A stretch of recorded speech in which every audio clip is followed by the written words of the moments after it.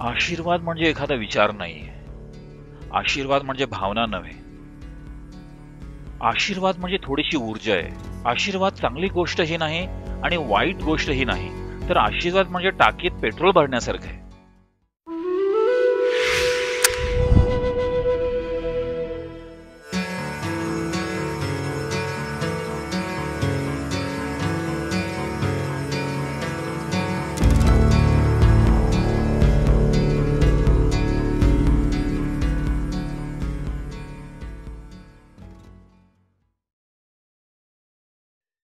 आताच एक एक सहभागी माझ्याकडे आले आणि जेव्हा मी रुद्राक्ष आशीर्वादित करत होतो ती आली आणि त्यानं विचारलं काय आशीर्वाद देत आहे? कोणता विचार आहे त्यामागे? तर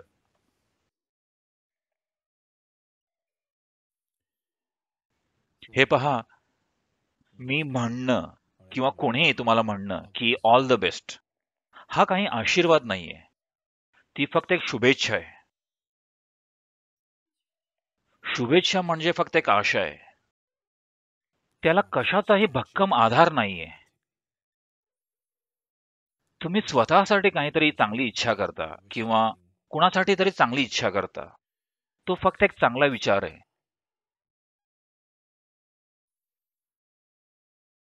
आशीर्वाद म्हणजे कुठला विचार नाहीये. आशीर्वाद म्हणजे भावना नव्हे. आशीर्वाद म्हणजे थोडीशी ऊर्जा आहे. जर तुम्ही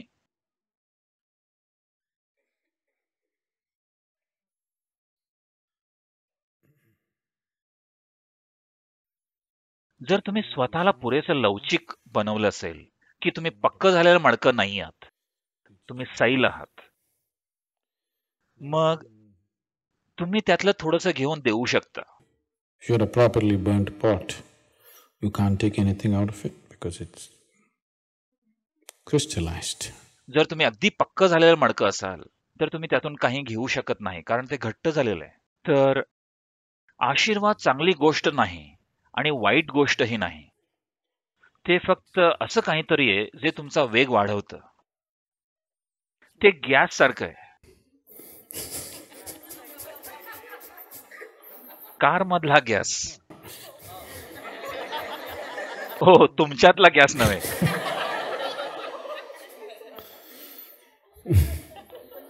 मला पेट्रोल म्हणायचंय.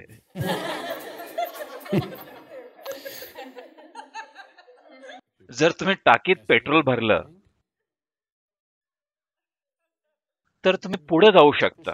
जर तुम्ही कार ढकलत घेऊन जात असाल तुम्हाला माहिती आहे तुमचं घर किती लांब आहे ते? खूप खूप लांब आहे नाही का? जर टाकीत पेट्रोल असेल तुम्ही चुटकी सरशी तिथं पोचाल नाही का? कितीही लांब असू द्या काही फरक पडत नाही. म्हणून आशीर्वाद म्हणजे कारच्या टाकीत पेट्रोल भरण्यासारखं आहे. ती काही शुभेच्छा नाहीये तो विचार नाहीये ती भावना नाहीये. तो चांगला नाहीये आणि तो वाईटही नाहीये. ते फक्त पेट्रोल आहे. जर तुम्हाला एक चालणारी कार हवी असेल तर पण जर तुम्ही असं कोणी असाल ज्याला पार्क केलेल्या कारमध्ये बसायला आवडतं कारण चालणारी कार घातक आहे. तिला अपघात होऊ शकतो. धावणारी कार घातक ठरू शकते नाही का? पार्क केलेली कार कितीतरी अधिक सुरक्षित आहे. हो की नाही? म्हणून पुष्कळ लोकांनी पार्क केलेल्या कारमध्ये जगायचं निवडलंय. सकाळची अर्थातच दुपार होते आणि दुपारची अर्थातच संध्याकाळ होते आणि संध्याकाळची अर्थातच रात्र होते. पानझडीचा हिवाळा होतो हिवाळ्याचा वसंत ऋतू होतो वसंताचा उन्हाळा होतो आणि पुन्हा पानझडी. असं वाटतं तुम्ही कुठेतरी जात आहे बाहेरच्या दृश्यात इतका बदल. हे पुरेसं रोमांचक आहे. पण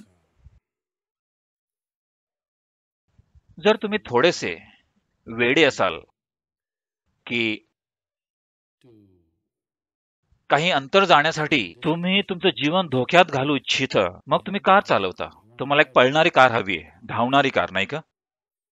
पार्क केलेली कार ही एकदम सुरक्षित कार आहे. ती चांगली आहे.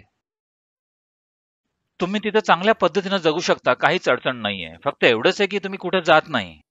जर कुठे जाण्याचा तुमचा हेतू नसेल तुम्हाला फक्त एक सुरक्षित जागा हवी आहे जगण्यासाठी. तर पार्क केलेली कार चांगली आहे नाही का?